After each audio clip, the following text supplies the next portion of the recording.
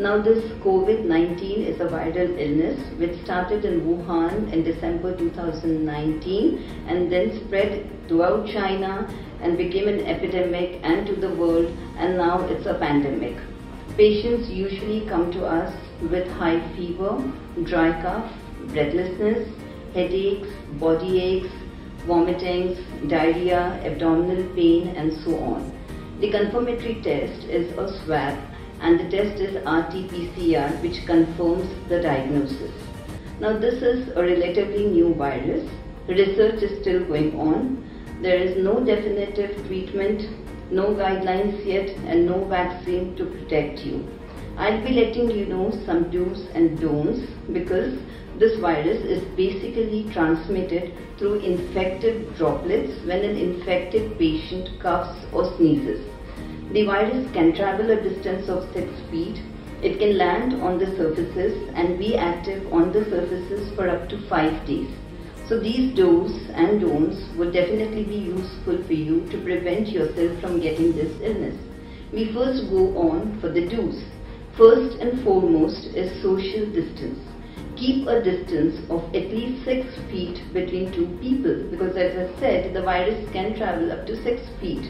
So maintain a distance of 6 feet. Second is your hand wash. Hand wash has to be proper at least 6 to 7 times in a day. The technique also has to be right. It is like you take soap and water, rub your palms, rub the dorsum of your hand, rub the bed, clean the toes, press the fist and then the wrist. And this should go on for 20 seconds each time you wash. If by chance soap and water is not available or you need to go out, then you should always carry the sanitizer with you which should have at least 60% of alcohol base in it and you have to do it the same way as you do for hand wash. Another important thing, you have to disinfect the surfaces.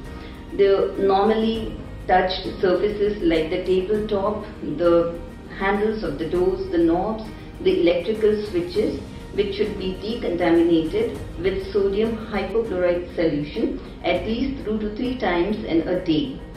Another important thing is if at all you need to go out for any emergency work then you should not forget to use a mask.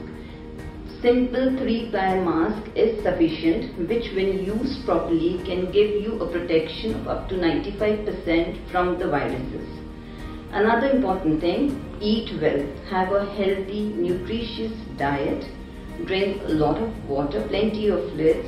Have a good sleep, at least 6 to 7 hours. And do some physical exercises in your house. Plus, mental health is also very important. These days, we get lots of calls where people are in severe stress.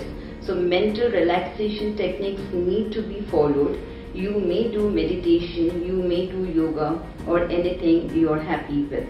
Now the don'ts first is very important. Don't just sneeze or cough in the open. Use a handkerchief or you can cough in your armpit so that the droplets are not transferred. Second is don't wash your vegetables with soap and water. The surface of the vegetables and fruits are porous. If you wash with soap and water, it will go inside the vegetables and fruits and which can be harmful for you. Then don't unnecessarily touch your face because your face is a portal of entry for the viruses in your body. It can go through your eyes, through your nose and through your mouth. In case if you need to touch your face, again wash your hands properly with soap and water then only touch your face. If you go out, then when you come back, please remove the shoes outside the door. Otherwise the shoes are also or the footwear is known to carry the viruses inside. When you're opening the door, don't open with your hand. This is the most used part. You can use the elbow or you can use your back to push the doors.